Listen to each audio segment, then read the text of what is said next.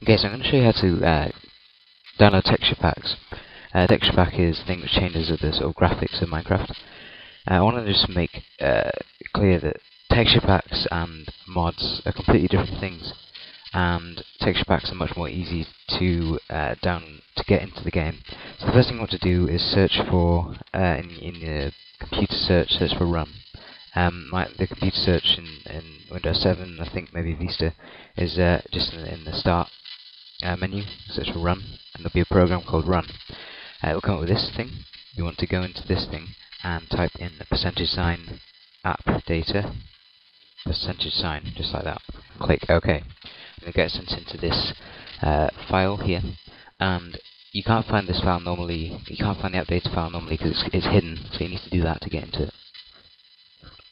Go into the .minecraft file, then go into the texture packs file because this is where you put all your texture packs. Texture packs are put in in a zip format, and this is in the zip format. This is a just an example texture pack called Linecraft. Um, it can be in a texture pack. Just leave it in its zipped format, and then drag it, or copy and paste it, or move it into the texture packs folder. And then you can just X out of that.